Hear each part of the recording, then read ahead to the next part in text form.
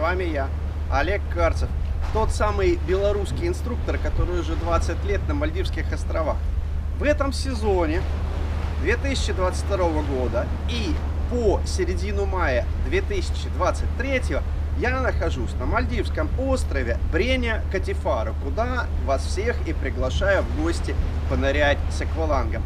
Подписывайтесь на мой канал, обязательно лайкайте и будете в свете последних событий, которые происходят на Мальдивских островах.